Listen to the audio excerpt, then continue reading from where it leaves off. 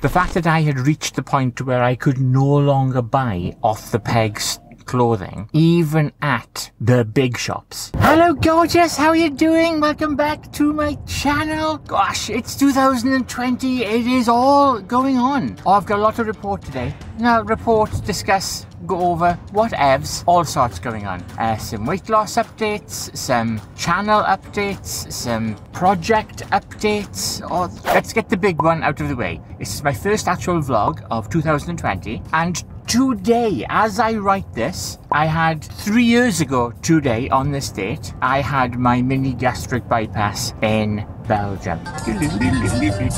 I don't know why that isn't even the Belgian national anthem, but it's really funny. So yes, three years ago today, and I have lost lots of weight. 26 stone or something, and hundreds of pounds of, of weight. Can't do maths driving, honest. Here's the thing, okay? A year ago, in a month's time, 11 months today, I had gender reassignment surgery in Thailand. If you're new to the channel, it kind of knocked me out of the out of things for a while, and I haven't trained. So this is I'm, I'm only this now getting back into training. However, uh, I lost a lot of weight, which was great, and I have gained a little bit back, if I'm honest, last year because I, I literally stopped going to the gym. As you, you may have seen, I occasionally tried to go back, and it just hurt too much. And that's now I'm now back at the gym regularly. Today is bum day. And I've been going at my glutes, my bum, quite hard. This sounds that, sounds like an entirely different video. I've been doing a lot of work, so I want I want to get I want to get a really nice bum. I've, I've had bum implants, as you know. A bum implant isn't everything. You also have to support that with exercise and you know, it's, it's just easier with bum implants. It doesn't do all the work for you. And I've had two of my friends have commented on bum is looking good. So how cool is that? That's nice. And they didn't, they didn't know, by the way, that I've been back in the gym and training hard on, on bum stuff. So anyhow, I digress. Three years ago, I lost that weight. I, I had bariatric surgery and it's been, it was life-changing. It was absolutely life-changing.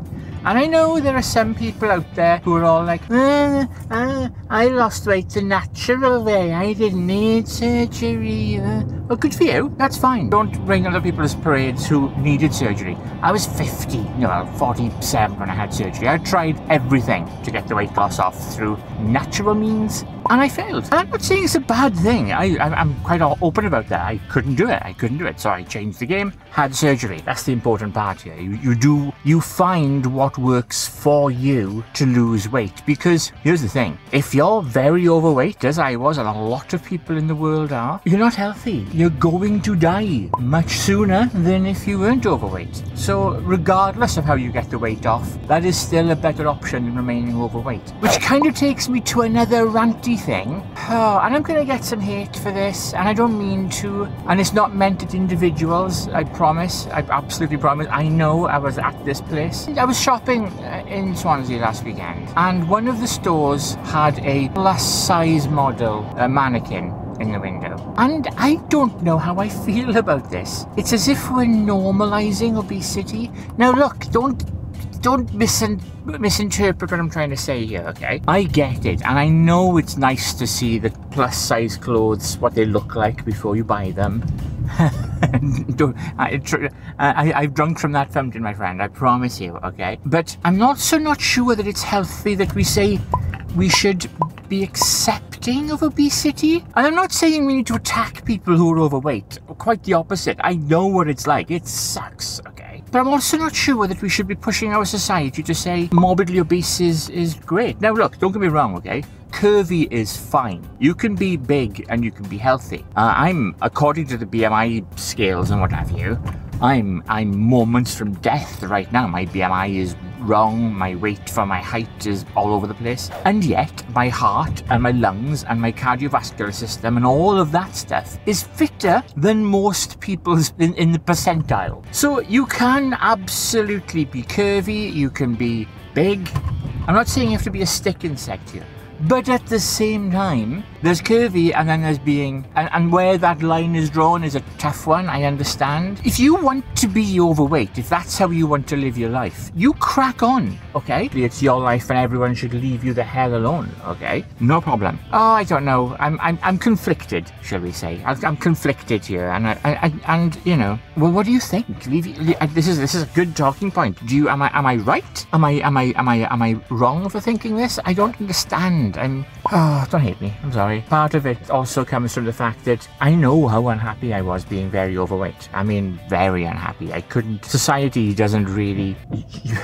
well, you don't fit into society literally, physically. You know, you. The fact that I had reached the point where I could no longer buy off the pegs clothing, even at the big shops, was a real wake up for me. It was like, okay, even in the clothes which were which were plus plus plus sizes, what I did wear I didn't look particularly good in. So I'm not sure about how I feel about normalizing obesity. I don't think it's good. I'm not saying attack people for being overweight. Anywho, I am now at the gym. I'll see you real soon.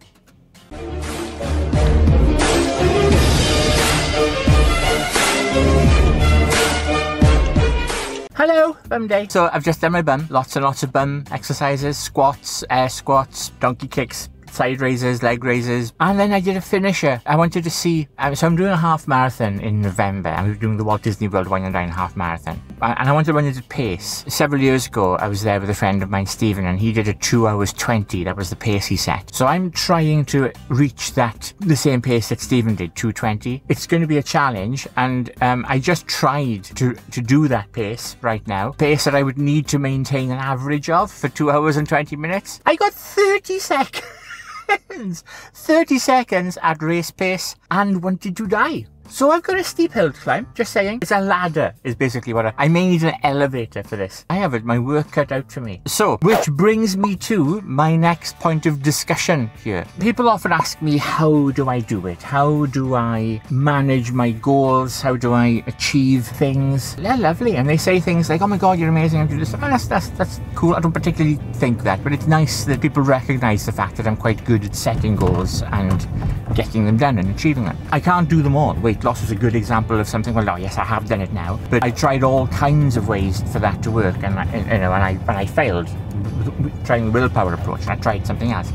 And that's kind of what it comes down to, is if you really want to do something, you break it down into steps. And I'm, this is not new, this is not, this is not rocket science here. But you break anything down into small steps. The way to think of them is called SMART steps. And SMART is a mnemonic and it stands for small, measurable, A for achievable. It has to be, you can't say, I want to set on a goal of climbing Everest next week if you haven't climbed a mountain before. That's probably not achievable. R for relevant. So it needs to be relevant to what you're trying to achieve. You have a bigger picture here. You have the, the, the your eyes on, your, on the prize. The bigger goal, your SMART goals need to be relevant to that bigger prize. That's what the R is. And T is timed. You can't just say, one day I want to do the thing. And I know, again, it's a, you know, it's, it's a meme, but, but one day never comes. You have to say, by this day, I want to do this thing. So for me, by November, I want to be able to run a 2 hour 20 half marathon. So to do that, I have to break it down into smart goals. And so each week I have a goal which says, this week I will run 15 kilometers, or I will run 20 kilometers, five at my race pace,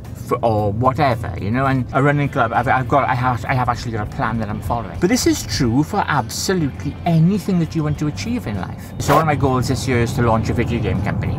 But to do that, I need a website, I need um, an audience, I need some games to sell. So I break all of that down into what I have to do in order to achieve that goal. And it's a life dream to run my own video game company. Well, and this year I'm going to do that. TubeSpanner, my software tool. I have a I had a goal to build a business on YouTube, and one of the best ways that I could see to do that was to build some tools, build some shovels for gold miners. You know, build um, some tools to help people, myself included, do YouTube better. And it's designed to help creators get started on YouTube, Instagram, Facebook, whatever their platform is, and it guides people. As a novice, YouTube Spanner will get you set up and get you running. As an experienced YouTuber, it'll help you get monetized and create ways for you to make money from your channel so that you can earn a living from YouTube. And as a professional YouTuber, it'll help you with your with your times, with your workflow, telling you when to put your next videos out. When you did a really good video six months ago,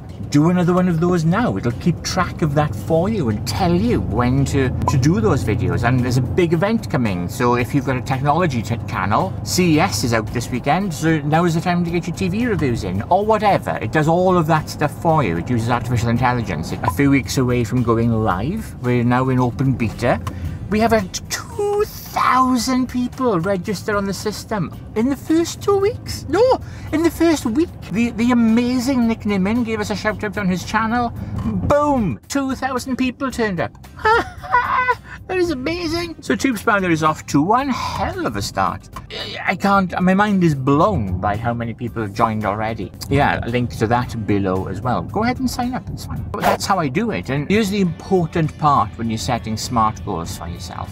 You have to make those a priority. You have to make those things important. It's all well and good making yourself some goals, some steps, some smart steps to achieve. But if you don't prioritize those, you aren't going to do them. So it's all well and good saying, I want to lose four pounds this week, and then go and eating pizza every night.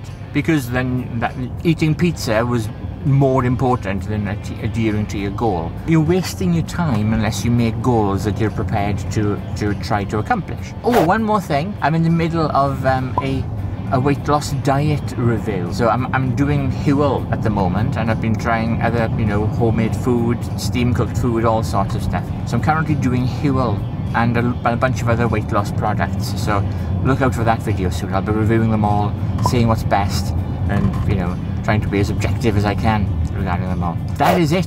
If you're still here, well, well, well, thanks for being still here. As always, thank you so, so much for watching. Honestly, I think you're watching, you're amazing. I, I love you so much. Please make sure that you, you're well, that you're looking after yourself, that you're good, and don't be afraid to reach out if you're not. You, you're wonderful, you know? As always, don't forget to comment, share. If you haven't subscribed already, that was a good time to hit that subscribe button hit that alarm bell so you'll be notified specifically when I put content out. And I will see you in the very next show. Thank you so much for watching. Popping up, popping up over there, or there, on one side of me is the last show I put out, and below that is the one that YouTube thinks you should watch next. I'll see you in the very next show. Thank you so much. Bye.